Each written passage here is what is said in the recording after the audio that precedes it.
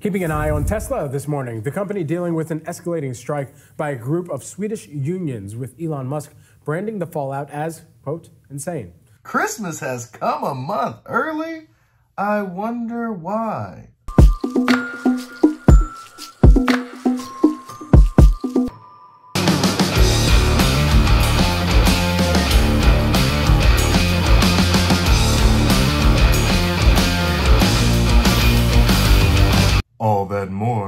So let's get to it.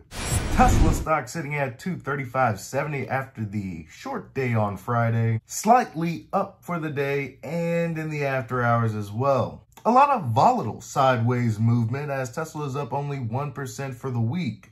And if you go back three months, Tesla is still up only about 2% with insane volatility in between. Year to date, Tesla is about 1% away from being up over 100%. But is Tesla facing some headwinds in the months to come? Or will there be unmistakable tailwinds that overshadow any fear, uncertainty, and doubt? Keeping an eye on Tesla this morning, the company dealing with an escalating strike by a group of Swedish unions with Elon Musk branding the fallout as, quote, insane. This comes amid mounting pressures on the EV maker as it faces a pricing war with EV competitors' shares moving higher by about seven tenths of a percent. You know, I think for Tesla, this is not perhaps the best time for any news around a strike to really ensue. Is there ever a good time for news like this to occur? But of course, there is no doubt they're going to try to spin this into the UAW success with the Detroit 3. Halfway across the world, is going to impact them here with the UAW in the United States. Please, I know this is where it's going. Let's get it over with. Especially considering the fact that they are in the sight, not just of some of the labor regulators that are overseas, uh, but also here in the U.S. as well, uh, as that is the UAW's next target, as Shawn Fain talked about. I knew it. How does the situation in Sweden relate to Shawn Fain and the UAW here, who literally has no impact on the U.S. operations of Tesla? Why are we manufacturing stories here?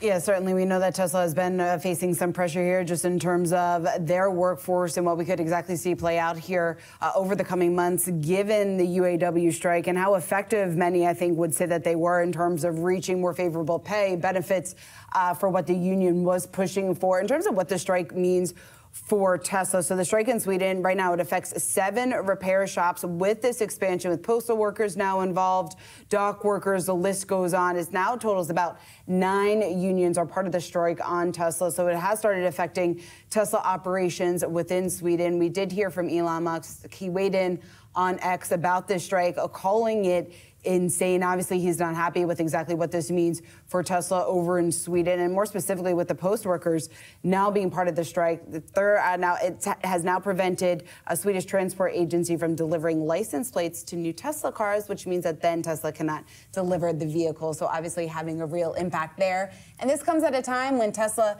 has been under a tremendous amount of pressure. We talk about the number of price cuts that have already taken place, the pressure that that has placed on margins, yes, in some way.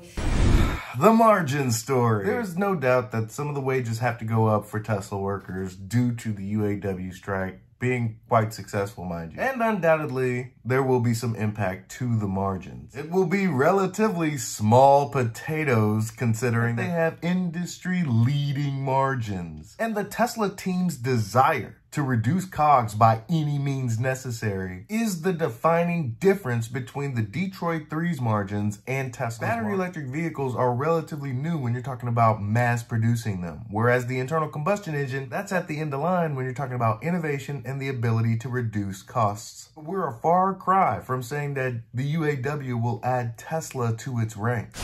It has been a boost for demand, which many analysts, I think, would agree is short term pain for long term gain. But that short term pain, especially when you're facing work stoppage or any sort of pushback here from union workers overseas, the potential that that could then trickle here into the U.S. is just another headwind that Musk needs to keep on his radar. Yeah, absolutely. And I think one of the other things to track continuously with this as well is where this perhaps permeates into other areas in Europe, particularly I think about that Brandenburg, Berlin Brandenburg factory. That is the first gigafactory that they brought online in Europe, and they really prioritize manufacturing hundreds of thousands of Model Y vehicles and their battery cells there. And that, that is going to be a huge footprint in order for them to be, be able to deliver into other parts of the European region and, and member countries. Now, all of that said, We've been in the midst of the year of some of the most tense labor negotiations across healthcare, across entertainment, and across autos as well.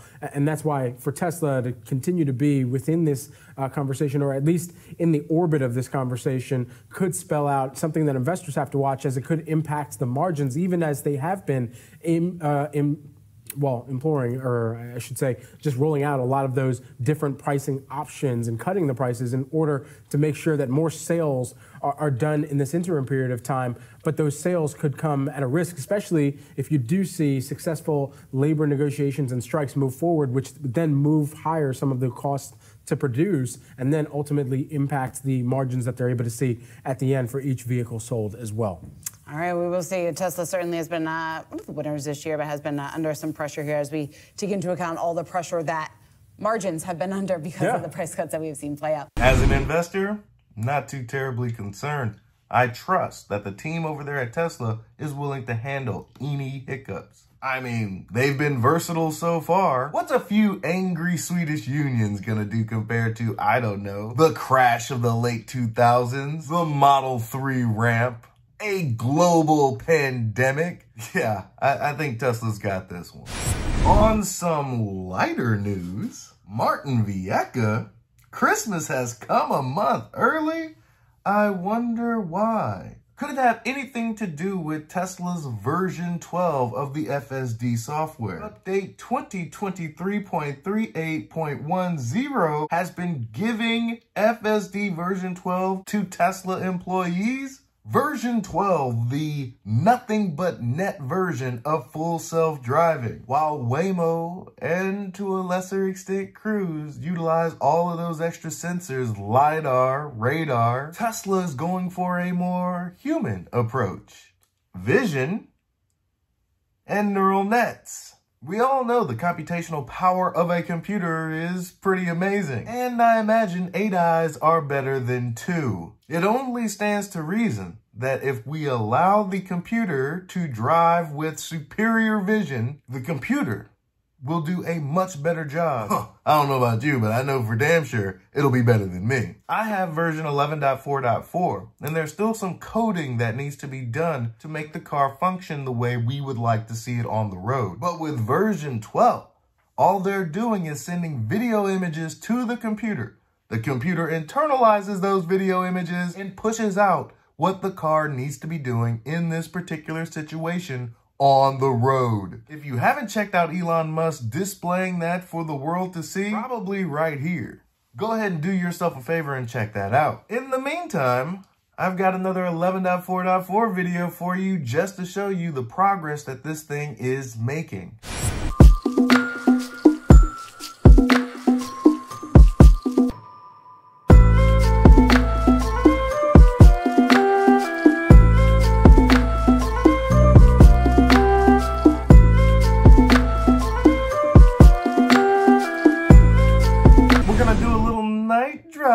Gotta go pick up the wife from work. Let's see if FSD Beta 11.4.4 can get us there safely.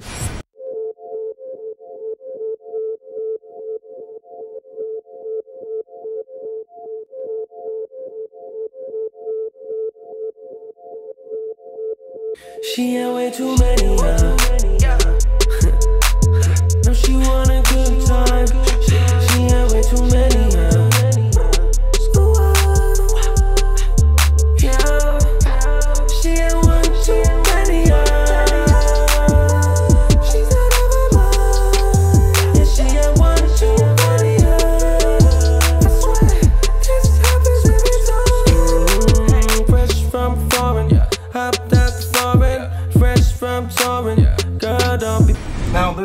construction going on right there, and it's a four-way stop with a stoplight above it. Sometimes the FSD Beta gets confused. Is that a stoplight? Is it a stop sign? I don't know. There's something there that is confusing it. Does it real good right there, though. You've been going crazy way too much lately. See you out in you walk past me, yeah, but you would never catch me, never snap me going crazy. If I'm hot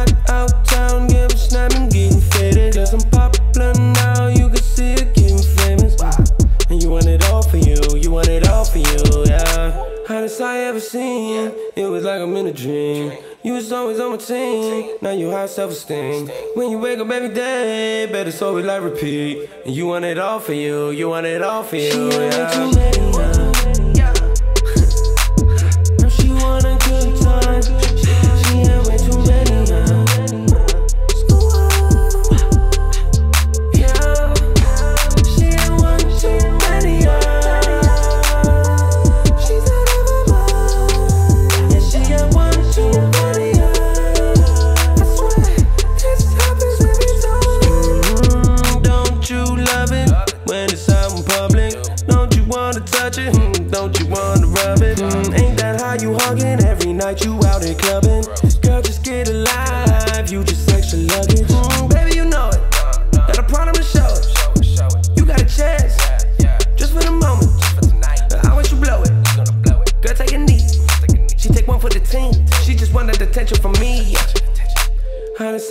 seen. It was like I'm in a dream.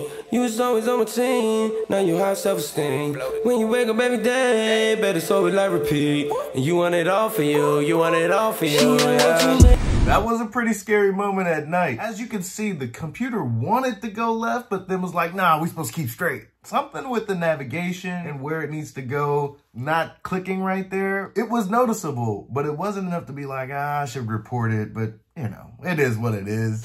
Now she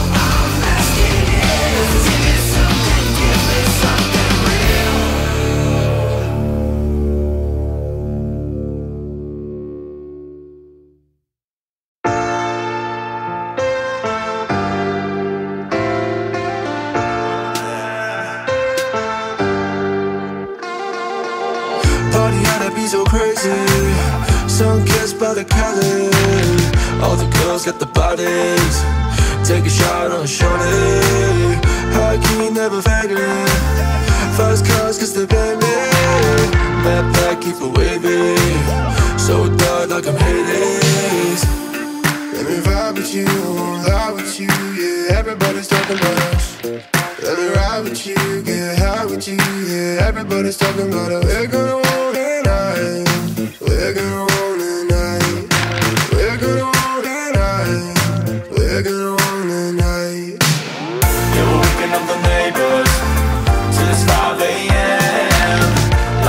Like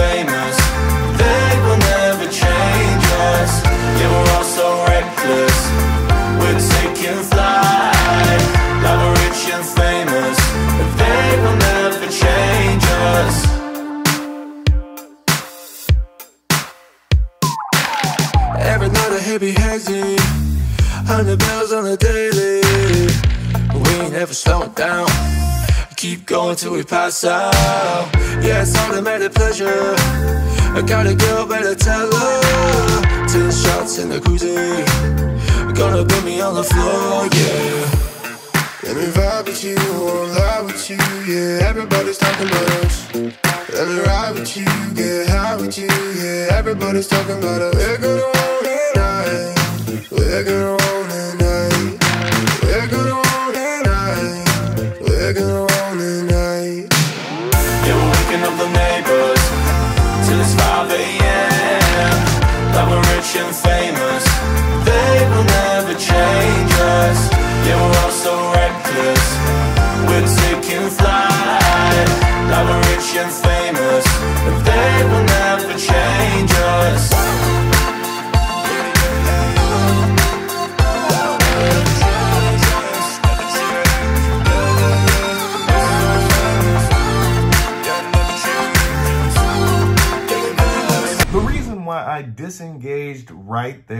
is because the navigation wants me to go around, like through the community and pull back in, whereas I could just take a left up here and get to my desired destination. So I have a feeling that's something to do with the navigation intermingled with FSD beta, but uh, we're here at our destination essentially. It would have just probably taken an extra few more minutes to the doorstep of my wife's establishment.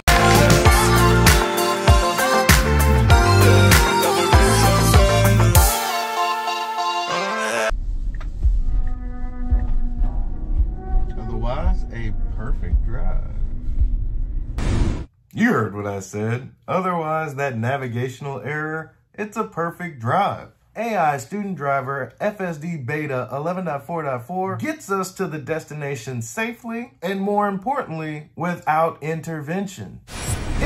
Conclusion, angry Swedish unions are making their presence felt, impacting Tesla's business over there in Europe in some pretty strange ways. On the bright side, FSD version 12 is being rolled out to Tesla employees. With any luck, it won't be long now before the OG FSD beta testers of YouTube get this build. Is this the FSD answer that we've been looking for? I'm not gonna lie, your boy's kind of excited. In the meantime, FSD Beta 11.4.4 is punching above its weight, getting us to destinations damn near flawlessly. I can't wait for version 12 to be pushed mainstream. It should be all she wrote, folks. Well, that's all I got for you today.